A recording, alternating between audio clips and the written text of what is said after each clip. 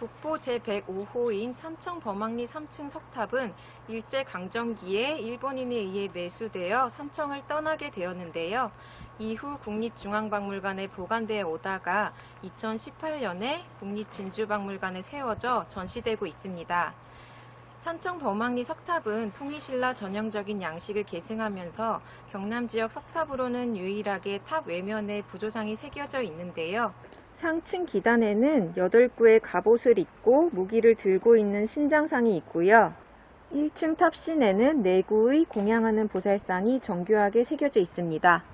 이러한 신장상과 보살상의 조합은 독특한 사례로 학술적인 가치가 매우 높을 뿐만 아니라 당대의 조각 기술과 경남 지역 불교 미술의 높은 수준을 보여줍니다. Hi everyone, this is one of the precious Korean national treasures in the Jinju National Museum, which is a three-story stone pagoda in Bamhangni, Sancheong. They say if you make a wish on this, it will come true. How about visiting to our museum to see this and make a wish?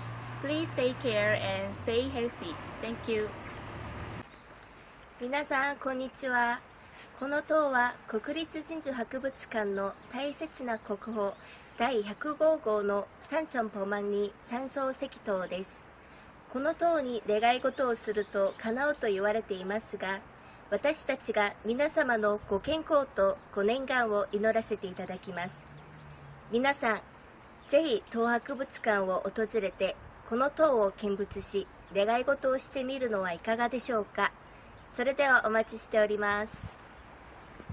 大家好，这座塔是国宝一百零五号三层石塔，位于荆州博物馆室外展场。